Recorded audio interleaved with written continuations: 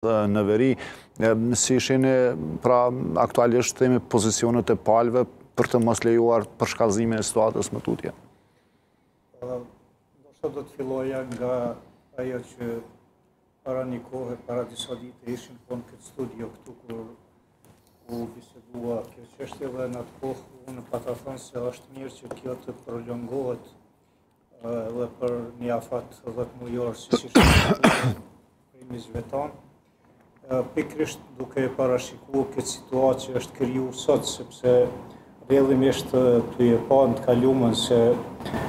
si po sillen, si po sillet situata në veri, kishte indikacione që do të vinte deri te një problematike e tillë çfarë e kemi sot. Dhe sot më së miri e kemi mujt me pa dhe me kuptu edhe nga takimet që u majtën me kryenegociatorin e Kosovës dhe ku iu kërkua që ky afat për tabelat të shtyhet edhe sikur të respektohej në tërësi ai përshkallëzim të cilin qeveria e Kosovës e bani rreth futjes në funksion të tabelave RKS. Shihej që zoti Bislimi ishte në një presion dhe trysni të jashtëzakonshme për të ndryshu qëndrimin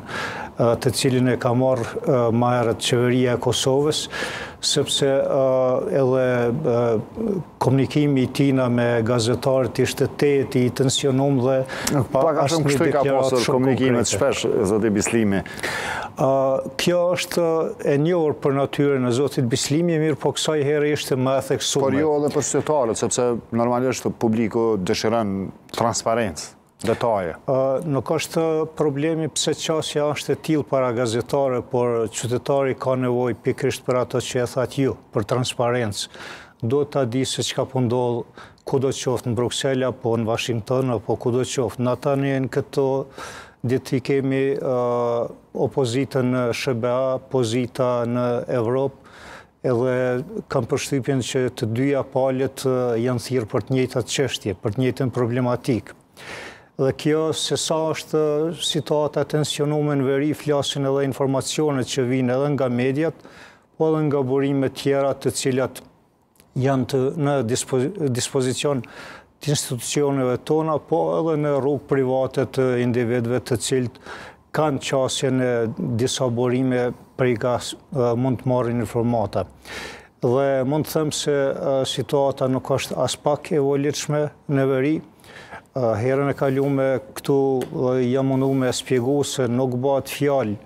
për një tension të nivelit të një shpërë përshkallëzimit të një lufte të hapur, çfarë e kishim në vitin një mijë e nëntëqind e nëntëdhjetë e tetë, nëntëdhjetë e nëntë, mirëpo mund të ketë trazira të cilat mund t'i kushtojnë dikujt edhe me jetë, po mund të ndikojnë, çka është edhe për keqardhje, në një disfavor të Kosovës gjatë bisedimeve që do të mbahen pikërisht për normalizimin e marrëdhënieve me Serbinë. Këto diskutimet pra Ose këto themi informata që vijnë për përshkallëzim të situatës atje për grupe të armatosura dhe të tjera, a qëndrojnë me të vërtetë apo mund të ketë themi edhe kso deklarime